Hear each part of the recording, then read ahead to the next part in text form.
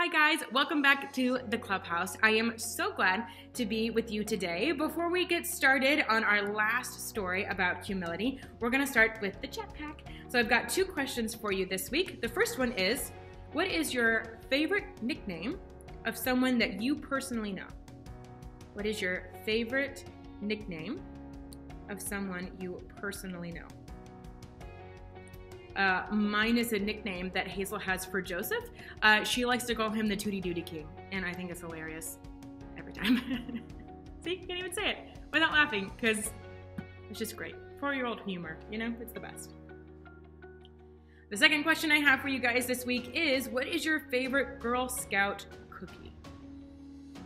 This one's tough. Um, I think for me, I don't know that I can just choose one. I'm gonna go with Samoa's. It's tagalongs are right up there. I am having a, a hard time picking between those two.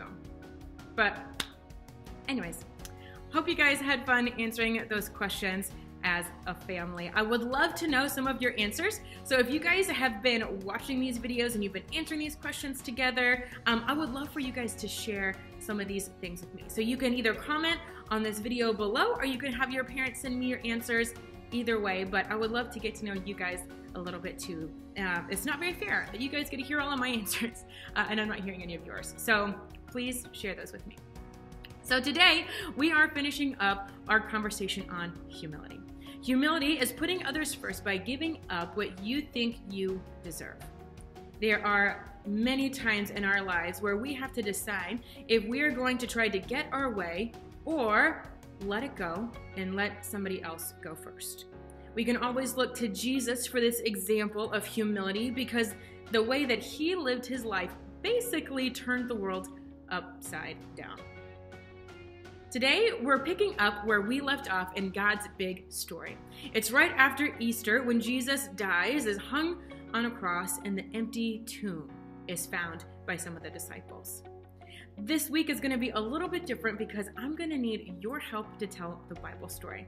This is something that we do in the clubhouse all the time. I love to involve you guys as much as I can. So even though you can't physically be with me today, I still need some help. I need some audience participation.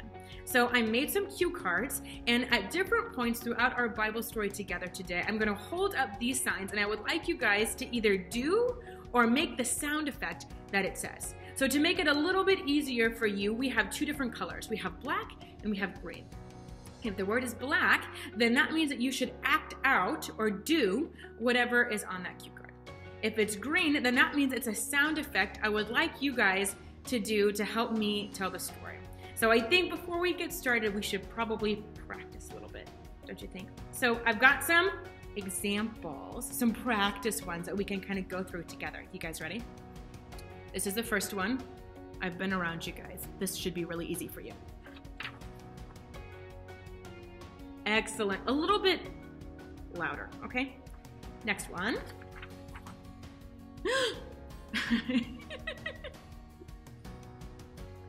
Guys, I could not be prouder. We have one more.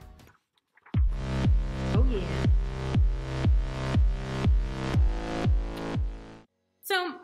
Probably weren't any dubstep dance parties happening in Jesus' day, but I just wanted to see if you guys were all in on the cue cards.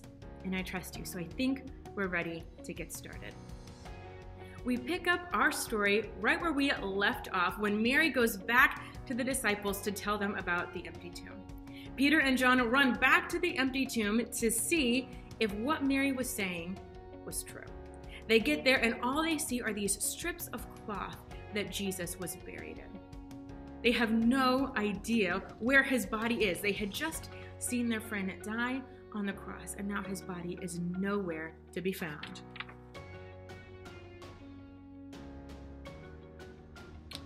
That same day, two more of the disciples were on their way to a place called Emmaus. It was a long journey, about seven miles away.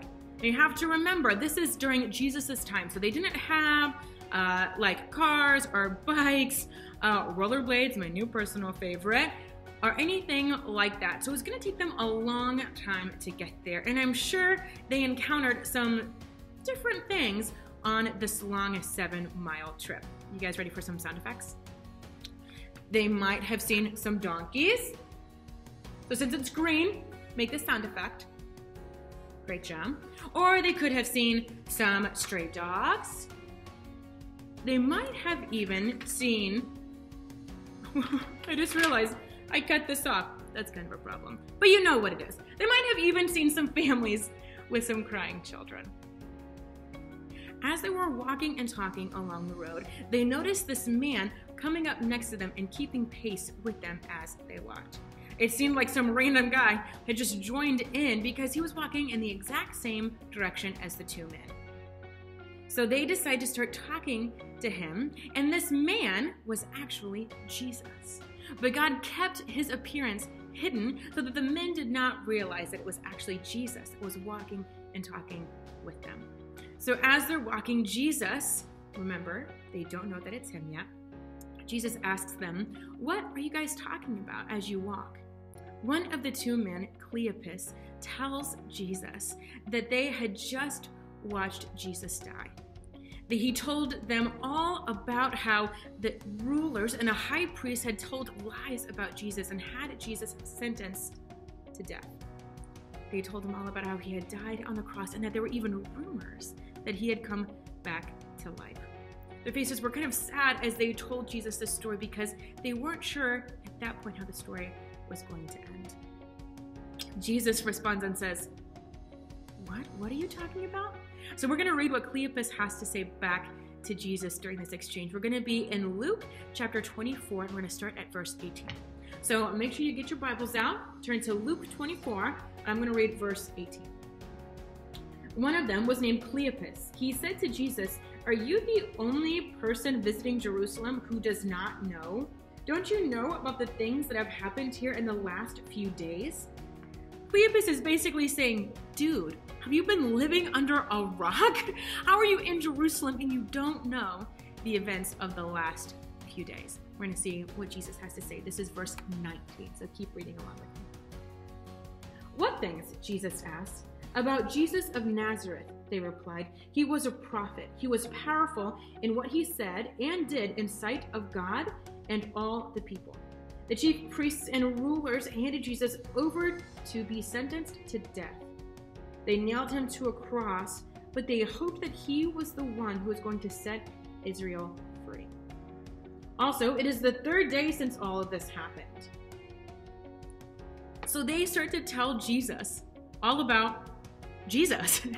they tell him all about his story and even about his ministry on earth before he died. They continue to walk and talk with Jesus, and Jesus actually starts to tell them some of the things that he knows. And he says, Guys, have you not heard the scriptures? And he goes back and he starts sharing with them scripture after scripture that shares about God's plan God's plan was so much bigger than any of them could have possibly thought. So Jesus tries to help these two men as they walk along the road, piece all of these scriptures together to help them understand that God's story is really, really big. That his plan from the very beginning was to send us a Savior, and that Savior was Jesus. So we know that their journey was about seven miles, which remember took a long time. We have no idea how long Jesus talked, but the Bible says that he continued to talk and share the other scriptures with them. Could you imagine what those guys must have been thinking to hear this guy just come along and join your journey and then he starts telling you things that you didn't even know? They were probably pretty confused, I would have to say. But they finally get to Emmaus. They get there and they really want to keep spending time with this man who was Jesus. So they try to convince Jesus to stay with them just a little bit longer because it's starting to get really late. They agree to sit down and have a meal together. So Jesus starts cooking for them, and as he passes them the bread, they realize that it's Jesus. As soon as he broke bread with them. Something that Jesus did so many times while he was with them. They realize that it is Jesus, and as soon as they realize it's Jesus, poof, he disappears.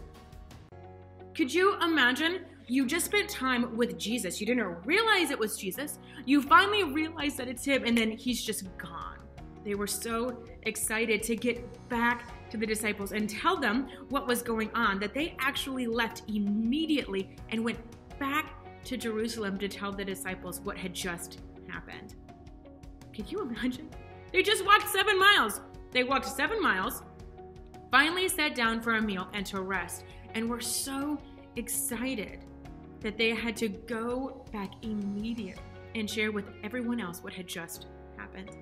They get back to Jerusalem and they start to tell the 11 disciples everything that had just happened. How they had met this man on the road to Emmaus. They didn't know who he was, but he had all kinds of knowledge about God's big plan and his big story.